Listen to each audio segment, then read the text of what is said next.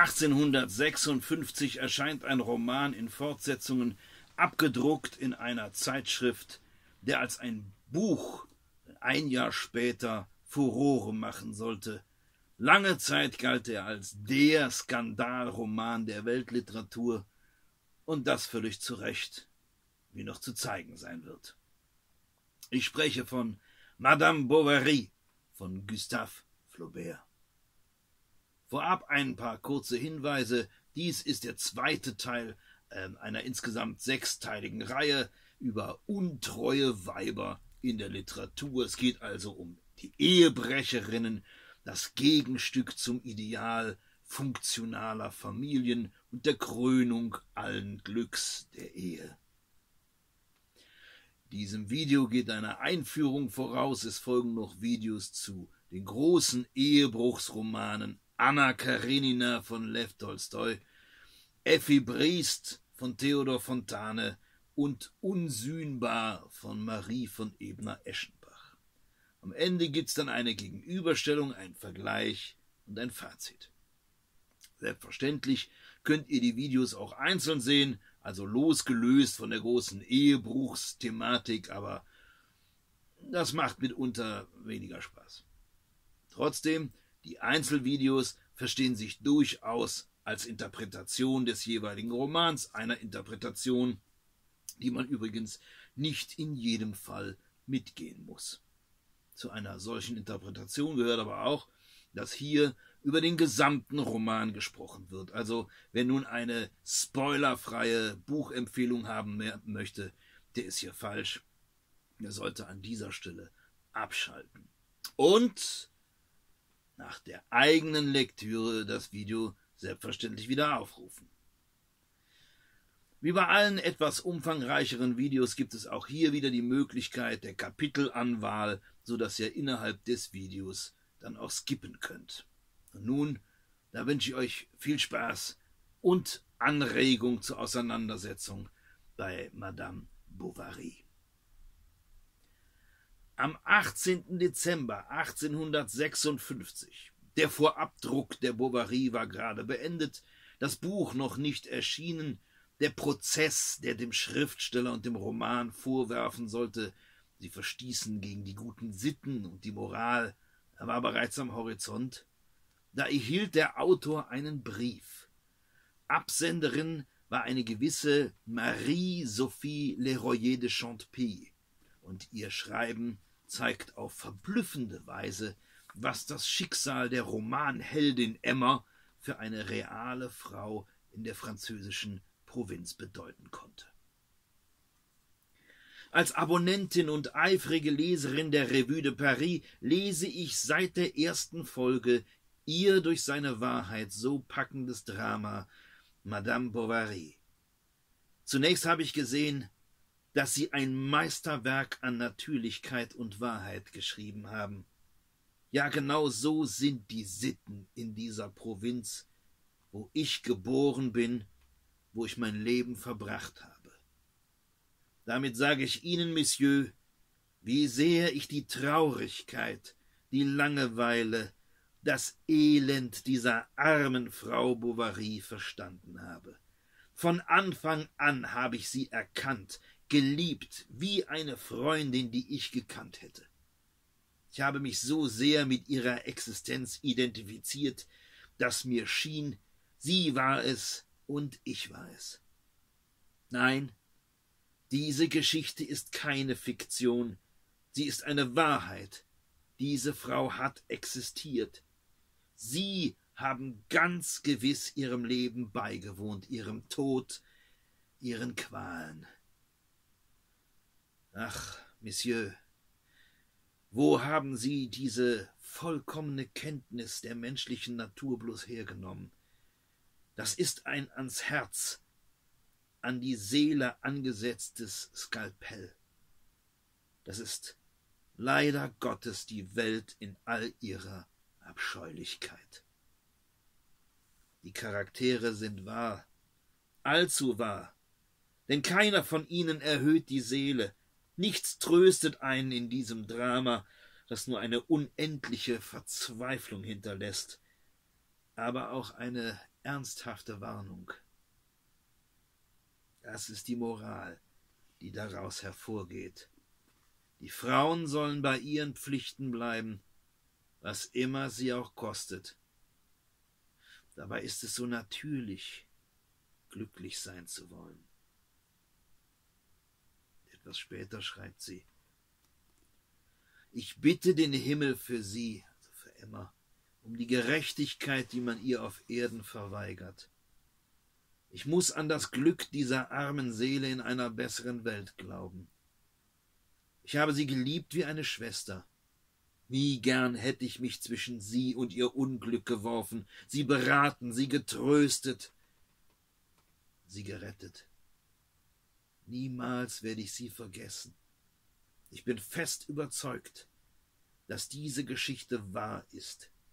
Ja, man muss Beteiligter oder betroffener Zeuge eines solchen Dramas gewesen sein, um mit solcher Wahrheit davon zu schreiben. Die Antwort Flauberts Nichts Wahres sei an der Bovary, alles sei erfunden. Was so nicht stimmte, basierte der Roman doch auf einem realen Fall. Vor allem aber fügt er hinzu, vergleichen Sie sich nicht mit der Bovary.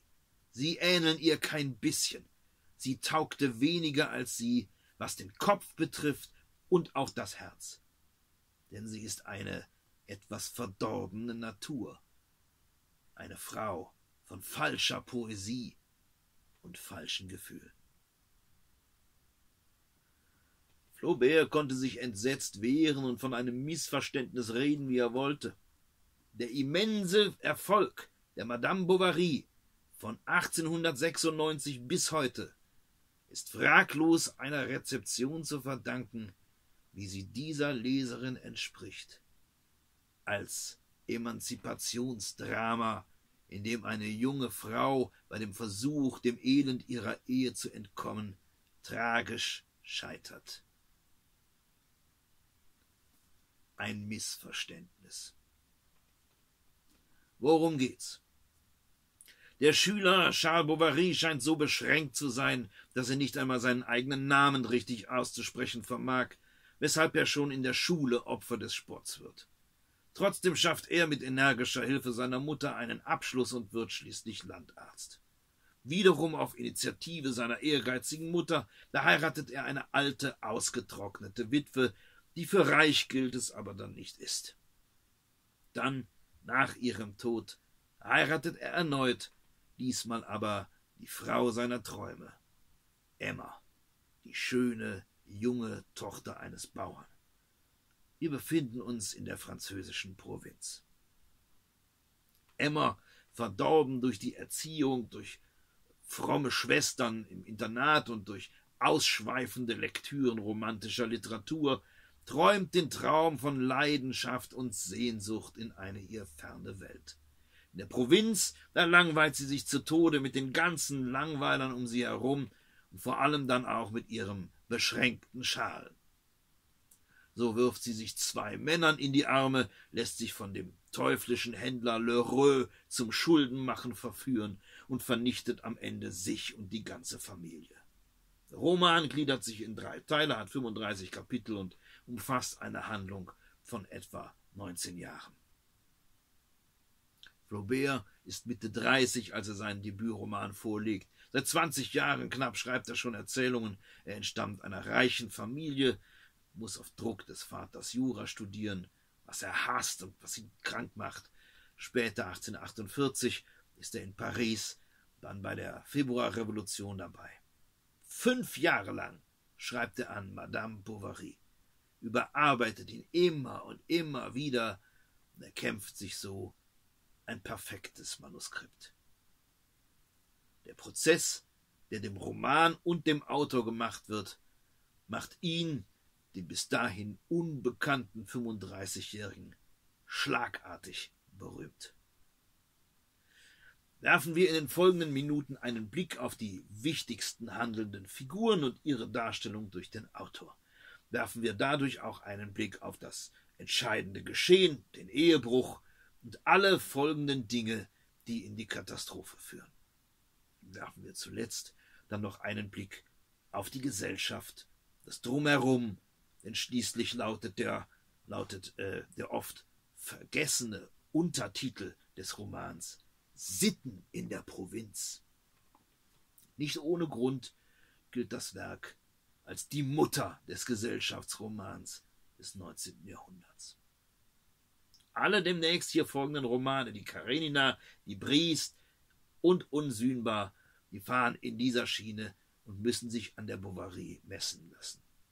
Nicht alle, das sei verraten, halten dem Stand. Wir beginnen natürlich mit Emma, auch wenn der Roman es nicht tut, sondern mit Charles Kindheit einsetzt. Das Mädchen Emma hat über sein späteres Leben als Frau nichts anderes gelernt als gedruckten Unsinn. Und Emma heißt es, suchte herauszufinden, was man im Leben eigentlich verstand, unter den Worten Seligkeit, Leidenschaft und Rausch, die ihr so schön erschienen waren in den Büchern. Verdorben auch von einem alleinerziehenden Vater, von bigotten Nonnen und nicht zuletzt von den Romanschriftstellern, deren Werke sie massenhaft und gierig verschlingt, hat Emma sich rettungslos verloren in einem Sumpf des Angelesenen, der voll ist von Vorstellungen und Idealen und schönen Bildern, die in der realen Welt so keine Entsprechung haben. Im Kopf dieser normannischen Bauerntochter gärt eine wüste Melange aus Romantik und Melancholie, aus religiösem Mystizismus und orientalischer Exotik. Emma liest und liest. Sie liest in der schwül vergeistigten Atmosphäre unter religiös verzückten, mystischen Jungfrauen und verbreitet es in ihrem Herzen zu einem schwülstigen Mischmasch von Wüstenträumen. Wir werden später darauf nochmal eingehen. Als sie dann auf ein Ball im Schloss des Marquis d'Andervilliers eingeladen ist und äh, ist sie von diesem Erlebnis über alle Maßen beeindruckt. Die Atmosphäre dort verblendet sie völlig. Das Erlebnis hat fatalste Auswirkungen auf ihr Gemüt. Sie verwechselt die Welt des Balls, auf dem sie Gast sein darf, mit dem realen Leben. Ein Tanz mit einem Vicomte macht sie vollends schwindlig. Dieser Ball ist der Beginn einer neuen Zeitrichtung. Hier beim Marquis findet Emma alles, was ihr Charles ganz sicher nicht zu bieten hat, und von nun an zählt sie die Tage, Wochen, Monate nach der Hoffnung, der Marquis könne im nächsten Herbst wieder zum Tanze bitten, in einer ewigen Wiederkehr desgleichen. Vergeblich. Nicht die Ehe mit dem braven Charles hat Emmas Langeweile und Enttäuschung geweckt. Die wüteten schon viel früher. Nur war der arme Landarzt eben nicht der Märchenprinz, der allein hier hätte Ordnung schaffen können. Vom Ball wieder zurück zu Hause entlässt sie als erstes ihr Dienstmädchen, während sie im, Ei im Eheheim die Pariserin spielt und sich Tagträumen hingibt. verdient Charles das Geld und fühlt sich glücklich. Sein fehlender Ehrgeiz widert sie an. Emma denkt an nichts anderes als an sich selbst und ihre zukünftigen Wonnen. Kommt ihr das Realitätsprinzip Ehemann in die Quere, dann lügt sie, bis sich die Balken biegen. Sie lügt, sie betrügt ihn. Sie lebt ihr kleines Leben im Bewusstsein eines schmutzigen, wollüstigen Geheimnisses. Was sie mit Rudolf noch heimlich tat, das treibt sie mit dem Nächsten schon in schamloser Offenheit statt Lust kommt die Katastrophe. Um ihre extravaganten Begierden, ihr enthemmtes Ich will alles Programm zu finanzieren, hat Emma ein unlösbares Spinnennetz von Schulden und Verpflichtungen gesponnen. Ihre ganze Existenz beruht nicht mehr nur auf den Lügengeschichten, die ihre Abwesenheiten kaschieren, sondern auch auf Betrug und Unterschlagung, immer bereitwillig unterstützt vom Händler Lheureux. Längst ahnt sie, dass es kein Entrinnen, kein Rückzug aus diesem Teufelspakt mehr gibt. Aber nichts von all dem weckt in Emma Schuldgefühle, wie zum Beispiel in äh, Anna Karenina oder Effi Briest, von denen später noch die Rede sein wird. Sie ist eher eine Egomanin, die unmittelbar auf jeden Zug reagiert, ganz ohne Strategie und fast ohne Taktik. Emma überschreitet definitiv jene letzte Grenze, die aus dem Ehebruch, aus der Zerstörung der bürgerlichen Existenz, die Zerstörung von allem und jedem macht. Sie zerstört auch das Leben ihrer einzigen Tochter, die aber ohnehin für Emma eher Klotz am Bein als geliebtes Kind war. An diesem sanften, lieben Mädchen zeigt sich, dass Emma, die so sehr auf der Suche nach Lieben ist, selbst unfähig ist, Liebe zu geben. Freudlos wächst die Kleine heran, weitgehend ignoriert von der Mutter, die sich gleich nach der Geburt, die gleich nach der Geburt zu einer Amme gibt, wo Bert in ärmlicher Umgebung ihren traurigen Lebensweg beginnt, getrennt von Mutter und von Vater. Womit wir bei Charles Bovary wären. Flaubert tut wirklich alles, um seinen Helden dem Spott auszuliefern. Hinter aller Lächerlichkeit, das muss man sagen, erscheint dennoch ein ernstes Bild. Charles ist ernsthaft in Emma verliebt. Schaut nicht aufs Geld, nicht auf die Karriere, fragt nicht einmal seine Mutter, er will nur diese hinreißende Frau mit der hellen Haut. Daran, da wird sich auch nichts dran ändern. Nicht vor der Hochzeit, und nicht danach. Der Einfallspinsel Charles liebt seine Emma so bedingungslos, dass er nichts von dem, was vor seinen Augen geschieht, nicht die Affäre mit dem dürftigen Kanzlisten Léon Dupuis, noch die mit dem aufdringlichen Provinz-Don Juan äh, Rodolphe Boulanger wahrnimmt. Und auch als sie Arsen schluckt, kann er sich nichts erklären. Vielleicht haben sie sich platonisch geliebt, findet er noch am Ende, als, als jeder doch klar sehen müsste, eine Erklärung. Und erst auf der vorletzten Seite, bei einer zufälligen, qualvoll peinlichen Begegnung mit Rodolphe, da lässt er erkennen, dass er doch weiß, was geschehen ist. Nein, ich nehme es ihnen nicht mehr übel. Er fügt sogar ein großes Wort hinzu, das einzige, das er jemals gesagt hat. Schuld ist das Schicksal. Die Ironie dieses einzigen großen Wortes, das er jemals gesagt hat, ist absolut böse. Dieser romantische Pathosbegriff sinkt in Flauberts Roman ab zu einer Leerformel, die nur noch zur Ausschmückung des Banalen Verwendung findet, sei es um die Landarztgattin unter dem Blöken der ausgestellten Böcke herumzukriegen, sei es um die lästig gewordene Geliebte später abzuservieren, sei es um zum bitteren Ende die ganze Lebenskatastrophe mit dem Mantel der Nächstenliebe zu verhüllen.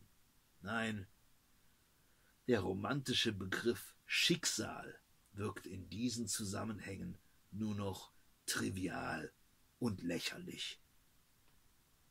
Charles ist und bleibt ein Trottel. Wenn er seine Frau tatsächlich rückhaltlos liebt, ja geradezu anbetet, dann muss man konstatieren, er tut das wie ein Idiot, denn er liebt sie vor allem aus Dummheit. Hatte Flaubert seinen Ehemann Charles Bovary mit dem Stigma des Lächerlichen versehen, so schenkt er auch den beiden Liebhabern nichts. Lächerlich sind sie nicht weniger als der Betrogene selbst. Monsieur Rudolphe Boulanger war vierunddreißig. Er hatte einen rohen Charakter und einen scharfen Verstand, pflegte regen Umgang mit Frauen und war darin äußerst versiert. Diese hier war ihm hübsch vorgekommen, also dachte er an sie und an ihren Mann. Ich glaube, der ist sehr dumm. Sie hat ihn wahrscheinlich satt. Er hat schmutzige Fingernägel und einen Dreitagebart. Während er zu seinen Patienten trappelt, sitzt sie zu Hause und stopft Socken. Und langweilt sich. Würde gern in der Stadt wohnen. Jeden Abend Polka tanzen. Armes Ding. die japst nach Liebe wie ein Karpfen nach Wasser auf dem Küchentisch. Drei Schmeicheleien und sie wird dich anbeten, da bin ich sicher. Wär zärtlich, bezaubernd. Ja, aber wie wird man sie hinterher wieder los? Mit viel Erfahrung ausgestattet, braucht der flotte Gutsbesitzer keine langen Analysen, um die Verhältnisse beim Monsieur und Madame zu durchschauen. Emma ist reif, das versteht Rudolf mit professionellem Blick. Was fallen will, das soll man stoßen. Und nach kurzer Vorbereitung, da liegt Emma am Boden. Rudolf ist alleinstehend, Junggeselle aus echter Überzeugung. Frauen sind für ihn zum Vergnügen da, und dass der Dorfarzt eine derartige Schönheit zur Gattin hat und diese vor Sinnengier vergeht, das ist doch ein glücklicher Zufall. Rudolf ist keiner, der sich solch eine Gelegenheit entgehen lässt. Die eigentliche Ehebruchsanbahnung, ich meine hier die berühmte Szene der Landwirtschaftsausstellung, ist ein Höhepunkt von Flauberts Kunst, seine Figuren der Lächerlichkeit preiszugeben. In einer fürs 19. Jahrhundert vollkommen unbekannten, geradezu filmischen Montagetechnik blendet Flaubert die aufgeblasenen offiziellen Reden der Würden und Ordenträger über das nicht weniger geistlose Liebesgesäusel des werdenden Paares. Doch die beiden Tonspuren, die laufen nicht nur nebeneinander von Absatz zu Absatz, werden sie immer enger miteinander oder ineinander verwebt, so dass die eine auf die andere zu antworten beginnt. Das Glück und der Mist, der Zauber Emmas und die Goldmedaille für den Schafbock, die ewige Liebe und die Schweinezucht. Während auf der Landwirtschaftsausstellung bombastische Reden voller Pathos geschwungen werden. Über Kohlköpfe, Schafe und Mist gibt Rudolf den Seinen von sich. Wir zum Beispiel, sagt er, warum haben wir uns kennengelernt? Welcher Zufall hat es gewollt? Sicher haben über die Entfernung hinweg, wie zwei Flüsse, die dahinströmen, um sich zu vereinigen, unsere jeweiligen Neigungen uns zueinander geführt und er griff nach ihrer Hand. Sie wurde nicht zurückgezogen. Insgesamt gute Bewirtschaftung, schrie der Vorsitzende. Oh, danke. Sie stoßen mich nicht zurück. Sie sind gut. Sie, sind begr Sie begreifen, dass ich Ihnen angehöre. Lassen Sie es geschehen, dass ich Sie ansehe, Sie betrachte. Ein Windstoß, der durch die Fenster hereinfuhr, kräuselte die Tischdecke, und drunten auf dem Platz hoben sich die großen Hauben der Bäuerinnen wie der Flügelschlag weißer Falter. Verwertung von Ölkuchen, sprach der Vorsitzende.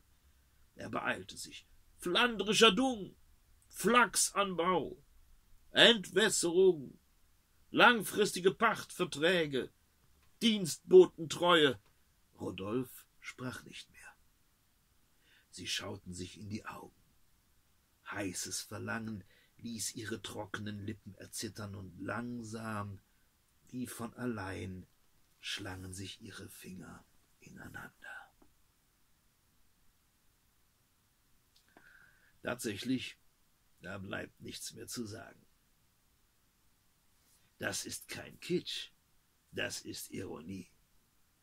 Wenn die beiden ergriffen Schweigenden ihren Pakt unter der agronomischen Wortkaskade besiegeln, dann hat Flaubert sein Urteil über sie gesprochen. Ist Emma mit von der Partie, dann kommen alle zu ihren erotischen Zielen durch nichts als die Sprache. Eine Sprache aber in ihrer vollendet sinnverlassenen, zu vollständiger Verblödung neigenden Schrumpfform. Wie abgedroschen auch immer Rudolfs Formeln sind, Emma hat sie nur ersehnt. Nach der Verführungsszene schaut Emma in den Spiegel und erblickt eine neue Frau. Doch als sie ihr Gesicht im Spiegel erblickte, war sie überrascht. Nie zuvor waren ihre Augen so groß gewesen, so schwarz, so tiefgründig. Etwas Hauchzartes auf ihrer ganzen Gestalt hatte sie verwandelt. Immer wieder sagte sie Ich habe einen Geliebten, einen Geliebten, und sie berauschte sich an dieser Vorstellung, als wäre ihr eine zweite Mädchenblüte zuteil geworden. Doch Emma wäre nicht Emma, würde die Wirklichkeit nicht gleich wieder zu bedrucktem Papier. Nun dachte sie an die Heldinnen all der gelesenen Bücher, und die holde Heerschar dieser Ehebrecherin sang in ihrer Erinnerung mit schwesterlichen Stimmen, die sie verzauberten. Sie selbst wurde gleichsam ein Teil dieser Phantasien und verwirklichte die endlose Träumerei ihrer Jugend, denn sie erkannte sich in jenem Bild der liebenden Frau, die sie maßlos beneidet hatte. Zudem kostete Emma die Befriedigung der Rache. Hatte sie nicht genug erduldet? Doch jetzt triumphierte sie, und die so lang unterdrückte Liebe brach hervor wie ein fröhlich sprudelnder Quell. Sie labte sich ohne Gewissenspein, ohne Furcht, ohne Zweifel. Vergessen wir nicht Emmas Liebhaber Nummer zwei, Léon Dupuis. Bei ihm handelte es sich ebenfalls nicht um einen romantischen Helden. Léon ist ein pseudopoetischer, pseudosensibler, geistig flacher Notarschreiber, ein Phrasendrescher vor dem Herrn. Er beginnt mit ihr eine hochromantische Konversation, in deren Verlauf er bekennt, dass auch er das Gebirge, die Musik sowie das Meer liebe. All das romantische Signalwörter, die bei der romantisch aufgeladenen Emma ihre entsprechenden Reize auslösen. Die Konversation zwischen ihm und Emma ist voller Phrasen, durch die sie sich einander annähern. Dupuis ist kein Charmeur, kein Damenmann, kein Frauenheld, obwohl er das gern wohl wäre. Ein blasser Allerweltstyp, das ist er, und das weiß er auch. Ein Höhepunkt bietet sicherlich diese berühmte Kutschenszene, eine der Szenen, die schließlich zum Skandal führten. Übrigens, äh, darüber ließe sich noch ein eigenes kleines Video machen.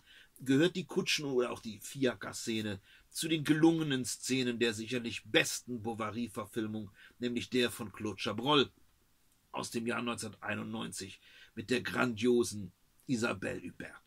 Das ist ein, ein Filmbild auf dieser älteren Ausgabe. Da mietet man sich also eine Kutsche, nur um es in ihr zu treiben, und wir als Leser werden Zeuge eines verzweifelten Kutschers, der ohne Fahrtziel den Pferden die Peitsche gibt. Die Szene gilt zu Recht als Meisterstück der unverblümten Andeutung. Wohin fahren wir, Monsieur? fragt der Kutscher. Wohin Sie wollen, sagte Leon und schubste Emma in die Druschke, und die Maschine setzte sich in Gang. Der Leser kann gern nachrechnen.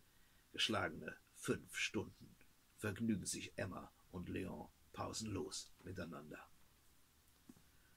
Er selbst ist aber, wie gesagt, alles andere als ein Romantiker, sondern ein Realist. Das wird vor allem deutlich, wenn er Emma am Schluss in ihrer Not Geldhilfe lediglich vorlügt. Nach ihrem Tod macht er Karriere, wird Notar und heiratet erfolgreich.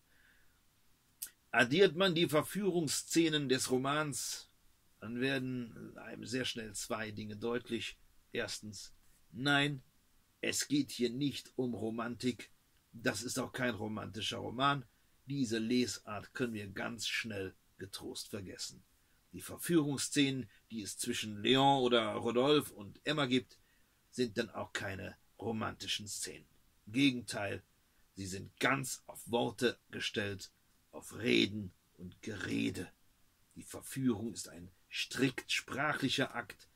Alle großen Verführungsszenen im Roman werden von Flaubert zu wahren Redeströmen gemacht, zu enthemmten Orgien des Gequatsches. Zweitens. Flauberts Bild des männlichen Liebhabers und Frauenverführers ist ernüchternd. Lächerliche Gockel von geradezu gigantomanischer Dummheit, wobei der einzige Unterschied darin besteht, dass Leons Poesie von gleichsam naturwüchsiger Einfalt ist, während Rodolphe die seine strategisch und zweckgerichtet zum Einsatz bringt, ein Kampfpanzer der erotischen Gelegenheitslyrik. Betrachtet man die beiden Herren als sozusagen reale Figuren, so bewegt sich Flaubert wiederum scharf an der Grenze zum Klischee. Nein, den beiden Herren kommt nicht einmal die zweideutige Ehre zu, hier als Repräsentanten einer normverachtenden Außenseiterrolle zu stehen. Viel zu klein sind sie, als dass man sie heroisieren möchte, stilisieren zum, Kamm, zum Kämpfer gegen die bürgerliche Zwangserotik der Familie. Außerdem, was kann das nur für eine Frau sein, die einerseits einen Charles Bovary heiratet, andererseits sich ausgerechnet diese Liebhaber besorgt? Was ist das für eine Frau, die ausschließlich monströse Idioten liebt? Und was sind das allgemein für Männer, da die Liebhaber den gehörnten Ehemann höchstens in Gewitztheit übertreffen ganz gewiss aber weder in Charme noch in Intelligenz. Nein, dieses lächerliche Figurenensemble, dieses lächerliche Quartett, also Emma, ihre beiden Liebhaber und ihr Ehemann, ist geradezu kongenial in wechselseitiger Dummheit und Verblendung. Umgeben ist dieses seltsame Quartett von einer Dorfbevölkerung, die zu ihm passt wie die Faust aufs Auge. Der selbstzufriedene Pfarrer Bournisien, der blind ist und taub für Emmas Seelenqual, der widrige Schacher, Schacherer Lheureux, der zum Zwecke seiner eigenen Bereicherung unter werbewirksamem Gesäusel über Leichen geht, und der redesüchtige Homais, Karikatur des liberalen, fortschrittsgläubigen Kleinbürgers und Spießers. Homais drängt sich als guter Nachbar auf, weil er illegal als Arzt praktiziert und Angst hat, von Charles verraten zu werden. Gerade der Apotheker Homais steht für eine Ausprägung des Bürgers, die von Flaubert zutiefst verachtet wird. In ihm konzentriert sich, mehr noch als in allen anderen Figuren, jene Mischung aus instrumenteller Intelligenz und allgemeiner Dummheit.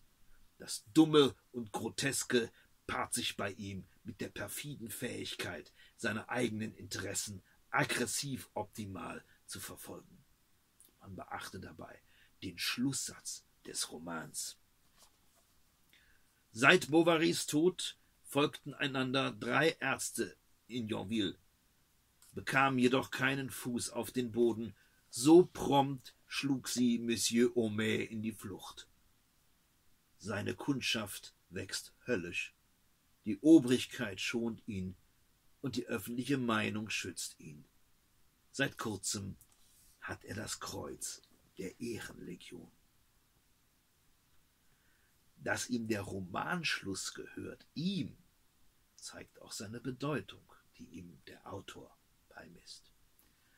Homais hat zu jedem Thema etwas zu sagen. Er denkt nie nach, sondern reproduziert den Wust seines Halbwissens wie ein Papagei, wobei er gern lateinische Redewendungen einstreut, um seine Mitmenschen mit seiner scheinbaren Bildung zu beeindrucken. Seine eigentliche Domäne aber sind seine Urteile über alles und jeden. Homais giert vor allem nach Macht, er will eine öffentliche Person werden, und das wird er ja auch, das schafft er ja am Ende Nichts kommt ihm gelegener als das Unglück bei seinen Nachbarn von gegenüber. Die Nachricht von Emmas äh, Vergiftung, die schreit er als Bestinformierter auf dem Marktplatz aus.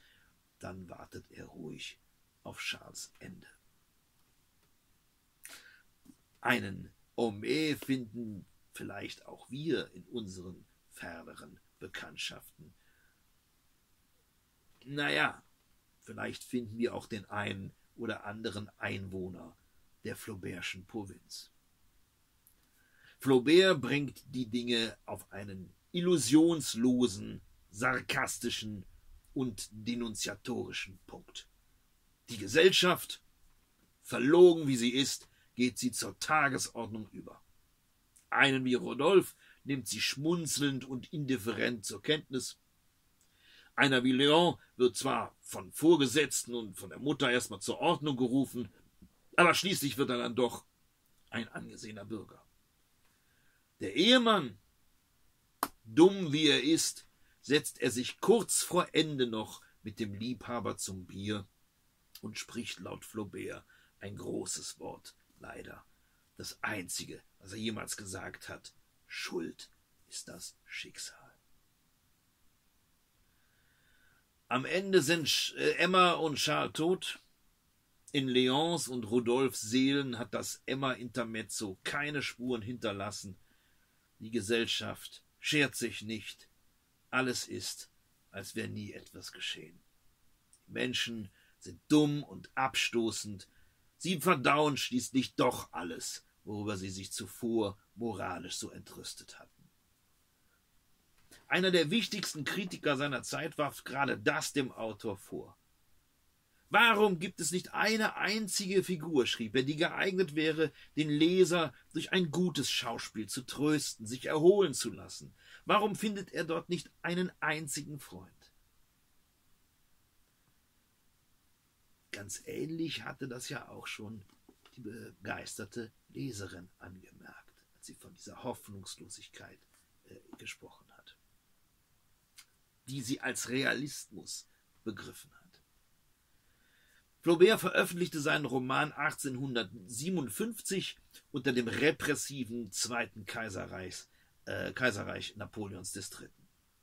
Das Geschehen des Romans aber spielt noch vor der 1848er Revolution in der Epoche des Bürgerkönigs Louis Philippe.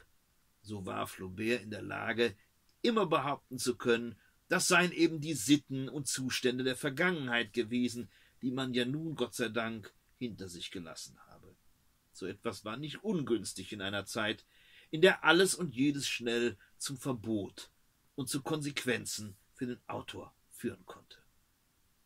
Napoleons dritten Regierungszeit war geprägt von einer staatlichen Repression, vom Versuch, die Ordnung im Staate, in den Familien und auch in der Literatur gegen jeden Wandel abzuschotten. In diesem Zusammenhang war Madame Bovary ein bewusst subversives Buch, das ganz offenkundig die öffentliche Moral herausfordern wollte, indem es laut verkündete, wie es aussah mit den Sitten in der Provinz hinter dem langweilig kleinbürgerlichen Anstrich. Madame Bovary wurde nicht zuletzt deshalb ein Skandalbuch, weil es eben hier nicht mehr um Figuren aus dem Adel ging, wie bei den gefährlichen Liebschaften eines Chaudelot de Laclos, sondern hier ging es um die Arztfrau von nebenan. Es ging um die bürgerliche Ehe, es ging um Scheinmoral. Ja, vergessen wir den Untertitel nicht. Es geht nicht nur um Emma. Es handelt sich um ein Gesellschaftsporträt. Gegenüber der unendlichen Vielfalt und der psychologischen Tiefe, mit denen Tolstoi seine Figuren zeichnet, schauen wir uns im nächsten Video genauer an. Da wirkt Flauberts Bild von den Sitten in der Provinz auf einer menschlichen Ebene sicher eindimensional. Wer aber darüber hinaus die ganze romantik-kritische Dimension dann eben nicht erkennt und seine Figuren und Handlungen ausschließlich auf ihren Wirklichkeitsgehalt hin befragt, der verkennt vollkommen, was Flaubert mit seinem Werk künstlerisch geschaffen hat. Ihm ging es nicht um schönen Stil, ihm ging es um eine radikal neue Form des Romans. Dieses radikal Neue äh, in Madame Bovary erschließt sich allerdings nur in einer Lektüre, die eingeht auf die Realität des Buches selbst und auf seine Materialität, also auf die Sprache, also auf jedes einzelne Wort. In diesem Zusammenhang ähm, sei hingewiesen auf die Übersetzung äh, von Elisabeth Edel, die mir äh, viele hier genannte Aspekte erst viel, viel deutlicher machte als die älteren Übersetzungen.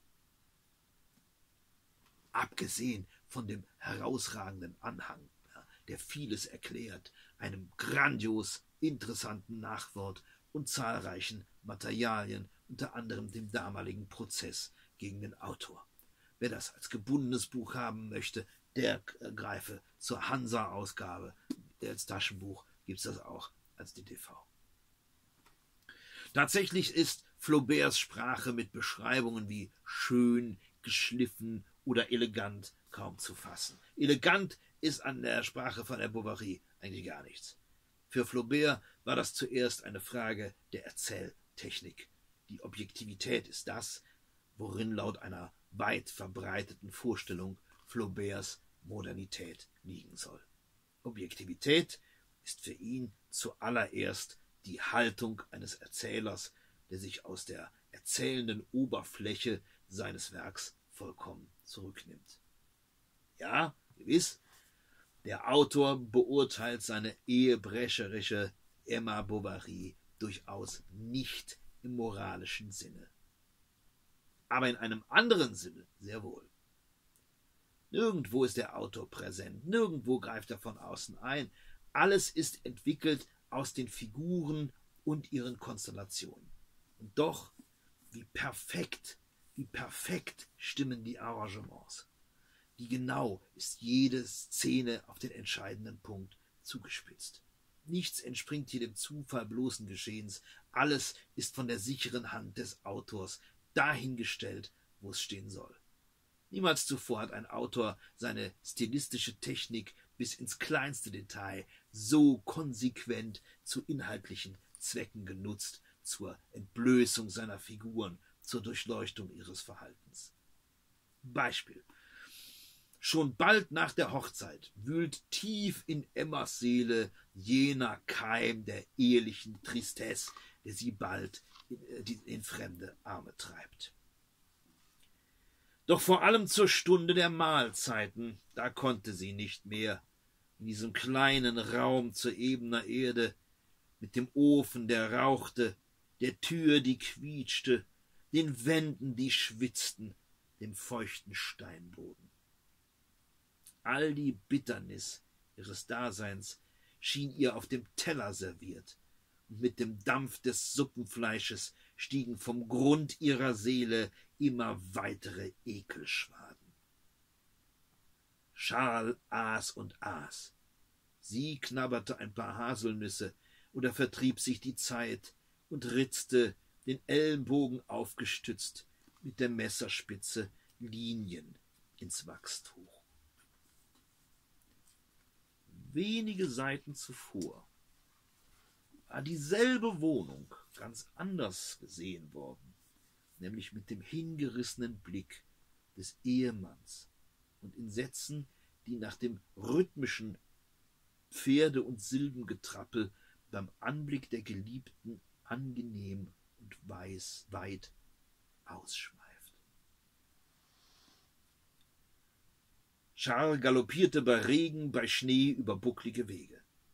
Er aß Rührei am Tisch der Bauern, schob den Arm in feuchte Betten, bekam bei Aderlässen den lauwarmen Blutstrahl ins Gesicht, lauschte dem Röcheln, schaute prüfend in Schüsseln, fasste unter viel schmutzige Wäsche.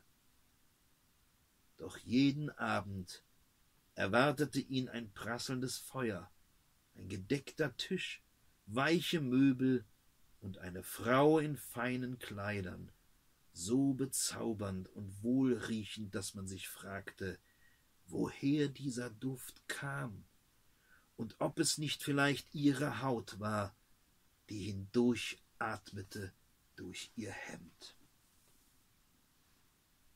Eigentlich kann nur eines der Bilder wahr sein, entweder die feuchte Küche oder der gemütliche Kamin. Hier wird nicht erklärt. Flaubert wählt vielmehr einen literarischen Kunstgriff, mit dem die Distanz zwischen diesen beiden ungleichen Eheleuten gezeigt wird. Erhalten sind von den Vorarbeiten zu Madame Bovary mehr als 4000 Manuskriptseiten. Hier kann man nachlesen, mit welcher Akribie Flaubert über fünf Jahre hin daran gefeilt hat, auf diese Weise jedem einzelnen Satz genau die Gestalt zu geben, die allein seinem Inhalt entsprach ein ästhetisches Radikalprogramm, das einen bloß realistischen Anspruch des Romans weit hinter sich lässt. Umgekehrt ist es aber gerade jenes Prinzip, was die Suggestion weckt. Man wäre als Leser unmittelbar beim Geschehen dabei. Ohne dass der Autor auch nur im zartesten darauf hinwiese, befindet sich der Leser tief drinnen in der verzweifelten Emma am Esstisch, im glücklich bewundernden Charles am abendlichen Feuer, in dem hingerissenen Leon. Vor allen aber, vor allen anderen aber ist es Emma, die Flaubert auf diese Weise zeigt. Emma, die sich sehnsüchtig verzehrt nach dem Schiff mit acht Segeln, das sie davonträgt. Emma, die in mystischen Verzück Verzückungen schwelgt. Emma, die das Zauberwort Paris in Leons Arme treibt. Und schließlich Emma, der das bittere Arsen so auf der Zunge brennt, dass auch Autor und Leser seinen Geschmack lange nicht loswerden können. Selten wurde übrigens mit so viel Enthusiasmus und Brutalität die eigene Protagonistin getötet. Kein Autor vor äh, Flaubert hat den Anspruch der Romanform höchste Kunst zu sein, weitergetrieben. Aber dass er dies ausgerechnet mit dem trivialsten, dem unsaubersten Sujet getan hat, nämlich mit einem schäbigen Ehebruch im Mief der Provinz. Das und nichts anderes machte den eigentlichen Skandal aus. An all dem werden sich die anderen berühmten Ehebruchsromane messen lassen müssen. Vor allem Fontanes Effi Briest, wie noch zu zeigen sein wird.